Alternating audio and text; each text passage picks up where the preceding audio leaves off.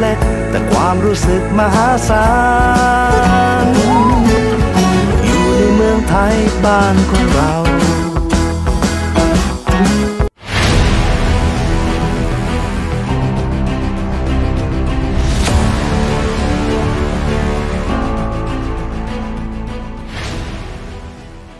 งาน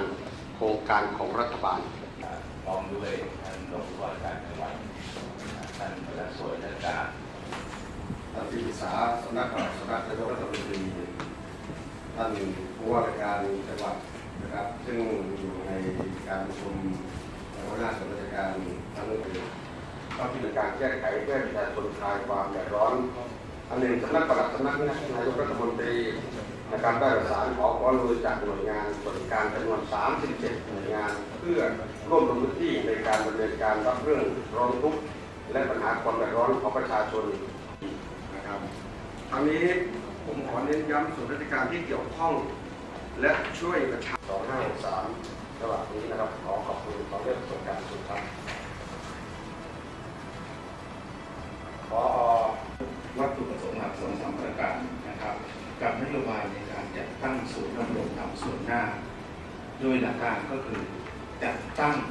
เพื่ออำนวยความสะดวกให้กับพี่น้องประชาชน สนับสนุนภารกิจท่านนายกรัฐมนตรี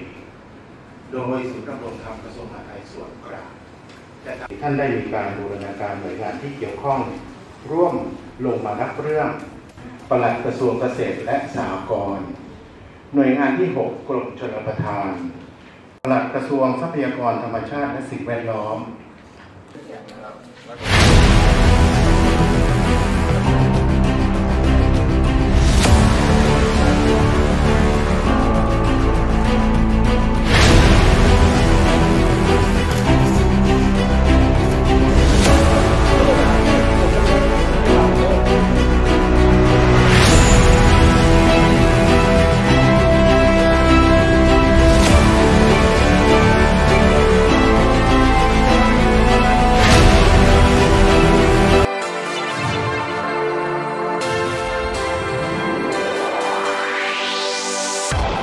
4 z News